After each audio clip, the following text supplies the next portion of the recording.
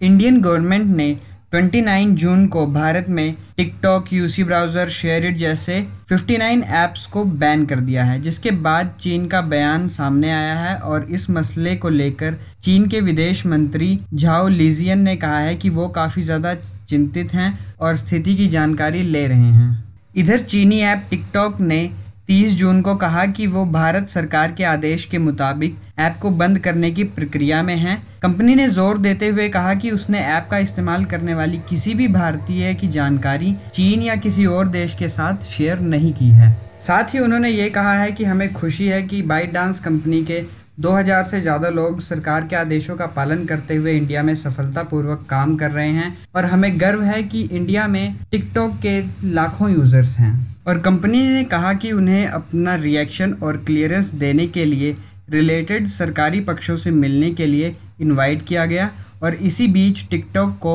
Google Play Store और Apple store से delete कर दिया गया। भारत की आईटी मिनिस्ट्री ने एक कॉन्फ्रेंस में कहा कि उन्हें डिफरेंट सोर्सेज से कई शिकायतें मिली हैं, जिनमें एंड्रॉयड और आईओएस प्लेटफॉर्म पर प्रेजेंट कुछ मोबाइल ऐप के मिसयूज़ के बारे में रिपोर्ट शामिल है। इन रिपोर्ट्स के अकॉर्डिंग ये ऐप यूज़र्स के डेटा को चुरा कर उन्हें भारत के बाहर सर्वर को अनऑथराइज तरीके से भेजते हैं। भारत की नेशनल सेफ्टी के प्रति दुश्मनी रखने वाले एलिमेंट्स के द्वारा इन फिगर्स का कंपाइलेशन इसकी जाँच पड़ताल और प्रोफाइलिंग आखिरकार भारत की स्क्रीनिटी और इंटीग्रिटी पर एक आघात है and it is a matter of great concern और इसके लिए एमरजेंसी मेजर्स की रिक्वायरमेंट है।